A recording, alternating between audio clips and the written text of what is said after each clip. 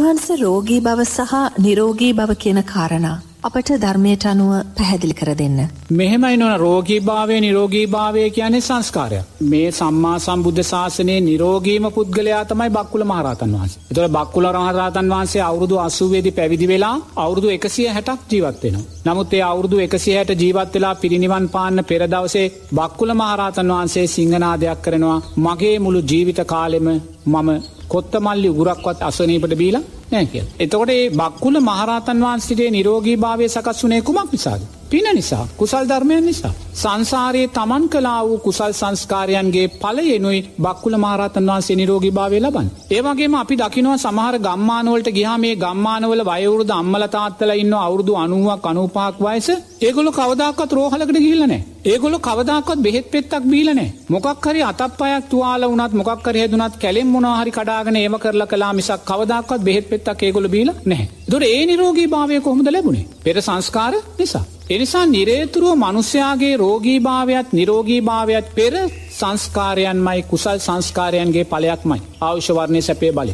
ඒවගේම මනුස්සලෝකයට මනුස්්‍යයාට සාපේක්ෂුව නිරෝගී භාවය වැඩියෙන් මත්විඳින කෙනා තමයි දෙවයා කියන කෙනා. දෙවියන් නිරේතුරුම රෝගී භාවයන්ට පත්වීම දෙවියන්ගේ සිද්ධවීමක් නෑ දිව්‍ය ජීවිතය තුළ. මොකදේ දෙවියන් නිරේතුරුවම පින නිසාම පිනේ පලය නිසාම නිරෝගී ජීවිත ගත කරමින් ඉන්න. නමුත් මේ පින පිරහුණාට පස්සේ. දෙවියාත් මොකද කරන්නේ දෙවයාගෙත් ශරීරයෙන් දහදිය හමනවා ව්‍යාදීන් සකස් වෙනවාන්න කුමක් නිසාදේ සකස් වනේ පින පිරුණ. එතකට දෙවියන් පිනෙන් ආඩ්‍ය නිසයි නිරේතුරුව නිරෝගී භාවය තුළ නිරේතුරුවම දෙවියන් ජීවත්වෙන. ඒවගේම මේ රූපාවචර අරූපාවචර බ්‍රහ්මතලවල ජීවත්වෙන අය නිරෝගී භාවෙන්මයි ජීවත්වෙන්නේ ඒගොල්ලන්ටත් කොතනකවත් රෝගී භාවයක් සකස්වීම නැහැ. මොක දෙගොල නිරේතුරුව ධ්‍යාන සම්පත් තුළයි දිජීවත්වෙන්. කාමච්චන්ද ව්‍යාපාද තීනමිද උද්දච්චක කුච්ච විචිකිච්චා පංචනීවන්න යටපත් වනා වූ සමාධිමත් ධ්‍යානතල තුළ ජීවත්වෙන නිසා ඒගොල්ලන්ගේ කයේ ත්‍රෝගී භාවයන් ප්‍රකටවීමක් නැහැ. ස්වාමින්වහන්ස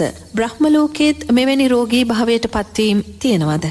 මෙහෙමයි දැන් බ්‍රහ්මයා කියන කාරණයේදී බ්‍රහ්මයා අරූපාවචර අරූපාවචර බ්‍රහ්මතලවල ජීවත්වෙද්දි නිරේතුරයා සමාධිය තුළයි ජීවත්තෙන්. රූපාවචර අරූපාවතර ධ්‍යාන තුළ ඒකුළු ජීවත්තෙන්. එතොටේ සමාධිය කියන මොකක්ද කාමච්චන්ද ව්‍යාපාද තීනමිද උද්දචකුකුට විචිකිච්චා යටපත් වෙලයිති. එතොටේ ධ්‍යාන මට්ටංවලදී නිරේතුරුව මේ ධ්‍යාන සැපයන් ලබද්දේ එයාට කොවිලාකත් රෝගී භාවයන් ප්‍රකට වෙන්නේ නැහැ. තේන රෝගිභාවයන් ප්‍රකට වෙන්නේ නැහැ. නමුත් යම් මොහතකේ ගොල්ල බ්‍රහ්මලෝකයෙන් චුත වෙන වෙලාවේ ආයිමත්තේ ගොල්ලො අතීත අකුසල් සංස්කාරයන්ට අදාලෝ රෝගිභාවයන්ට පත්වන්න පුළ දැන් ආබස්සරා බ්‍රහ්මලෝකෙන් අර අග්ගඥ සූත්‍රයේදී ආවේ බ්‍රහ්මයෝ කොච්චරනන් නිරෝගීන් සභාවෙන් දින්න ඇති. නමුත් ඒගොල්ල ඇවිල් අර තුෂ්නාවෙන් මහපොලොව බදාගෙනකක්දී අන්නේ ගොල්ල කායිකෝ මාන්සිකෝ රෝගීභාවයට පත්වන. නමුත් අර බ්‍රහ්මතලවල සමාජිසුවයෙන් ජීවත්ව සිටින තාක්කල් ඒගොල්ලො රෝගී භාවය යටපත් කරගෙනයි ජීවත්වෙන රෝගෙන් මිදිලන නැහැ. ස්වාමින්වහන්ස රූපාවචර අරූපාවචර බ්‍රහ්මතලවල වාසය කරන බ්‍රහ්මයින්ට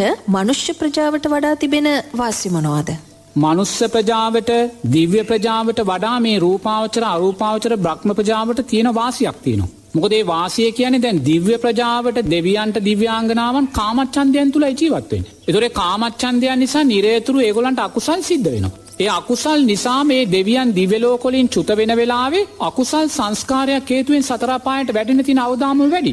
ඒවගේම මනුස්ස ප්‍රජාවටත් මේ අවධානම ඒ ආකාරයම තියෙනවා. තියන්න නමුත් රූපාවචර අරූපාවචර බ්‍රහ්ම ප්‍රජාවට නැවත සතරාපායන්ට වැටෙන්න්න තියෙන ඉඩකට අවමයි.